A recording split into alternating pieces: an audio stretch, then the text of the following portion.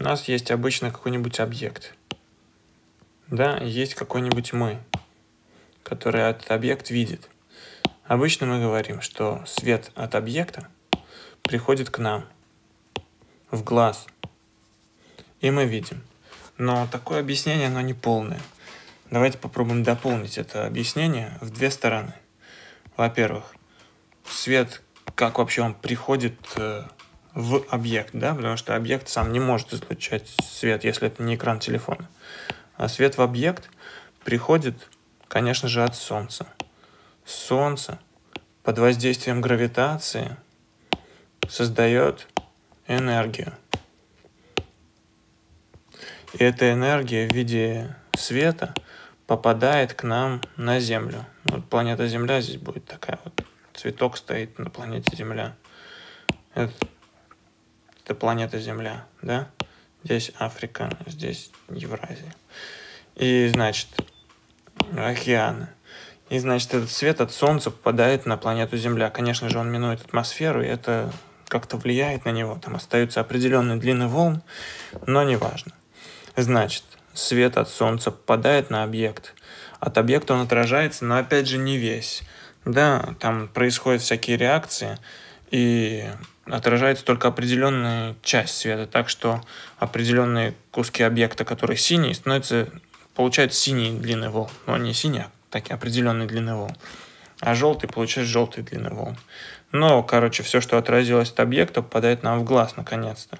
Но это все еще не видение, потому что когда что-то попало в глаз, вот это глаз. В глазу внутри есть рецепторы, которые реагируют только на синий свет, на зеленый свет и на красный свет. Но это еще нельзя, конечно, назвать синим, зеленым и красным, потому что это просто электромагнитные волны. И рецепторы здесь реагируют на разные длины волн. Значит, самые короткие длины волн попадают сюда, и они тогда реагируют этот рецептор. Чуть подлиннее длины волн или еще более длинные попадают сюда, тогда этот рецептор реагирует. Но главная идея, что когда свет попадает в рецепторы, рецепторы как бы перекодируют этот сигнал в электрический сигнал, электричество. И вот этот электрический сигнал от разного рецептора стимулирует разные части нашего мозга. Значит, от синего рецептора он стимулирует какой-нибудь нейрон здесь, от зеленого рецептора нейрон здесь.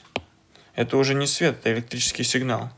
Но этот электрический сигнал, стимуляция его в мозге, создает наше ощущение видимости света и разных цветов, а также его комбинации, если мы комбинируем эти разные электрические сигналы.